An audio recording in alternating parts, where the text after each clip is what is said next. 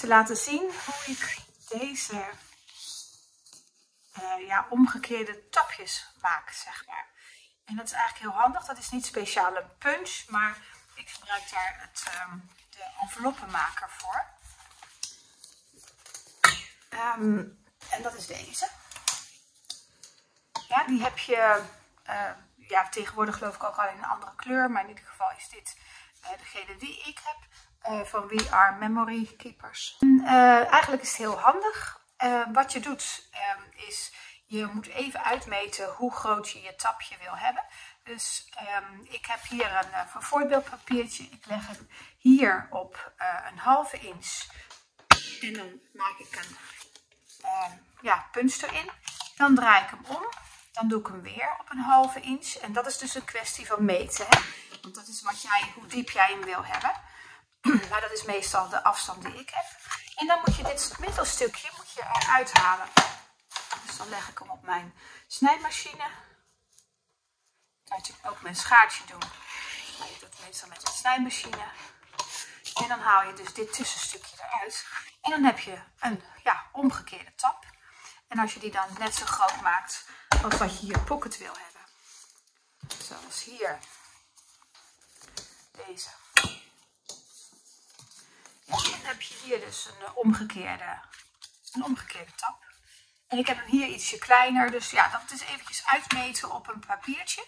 En als je hier dus nu designpapier op wil doen, dan moet het ietsje verder naar rechts. Dus dat betekent dat jij je tapjes met je designpapier iets verder op moet schuiven.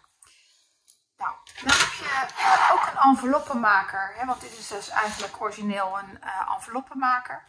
Uh, die heb je ook bij wat goedkopere winkels. En deze is van Kraft Co.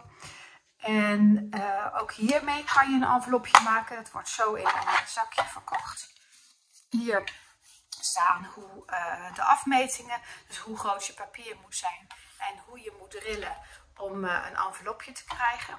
En daar is ook zo'n dingetje bij. En daar kan je eigenlijk hetzelfde mee doen. Alleen het handige is dat deze dus vast zit en gelijk een lineaal heeft. En dat deze los is. Maar dan kan je het natuurlijk hier opschrijven. En dan doe je hetzelfde mee. Dus je gaat hier. Doe je een inhammetje. Hier ook. Zo. En dit stukje moet je eruit snijden.